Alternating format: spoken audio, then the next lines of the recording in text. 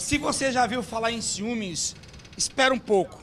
Porque o homem que nós vamos mostrar agora, ele diz que a mulher dele é que tem ciúmes dele e não ele dela. Está presa aqui depois de agredir a própria esposa.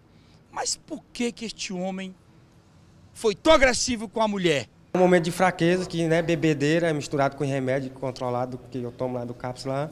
Quem tem ciúmes? É ela ou é ele? É, eu gosto dela, porque ela já me ajudou. Uma vez eu fui presa, ela me ajudou. Você foi preso por quê? Da outra vez, Hum. outra vez foi assalto. Você tem ciúme dela? É, Um pouco, né? Um pouco. Isso. Ela é sua mulher. Isso. E ela tem de você?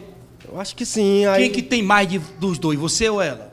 Não sei. Aí eu queria falar também que quem estiver me ouvindo agora aqui pra avisar pra minha mãe lá que eu tô aqui no terceiro pra mandar aqui umas coisas pra mim, minha roupa. Você está arrependido dessa confusão entre você e sua mulher? Tô sim. Você gosta da sua mulher? Gosto, gosto dela, gosto da minha mãe, gosto da minha família toda.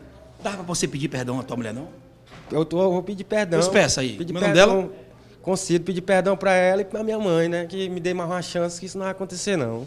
Minha mulher, eu estou arrependido. Eu te amo. Eu te amo, vem aqui me fazer qualquer coisa por mim que eu tô arrependido. Oh, que coisa bonita, olha aí. Eu vou até aqui colocar uma música legal. Ele quer se. Né? Se ajeitar com a mulher dele. Moa, bota aí um. É, essa aí, essa aí, essa aí, ó, o bregão bacana, ó. Para o Francisco daqui, é seu nome? Da chave. E dela, como é o dela? É conhecida como preta, conhecida. Preta, olha aí, preta. Preta,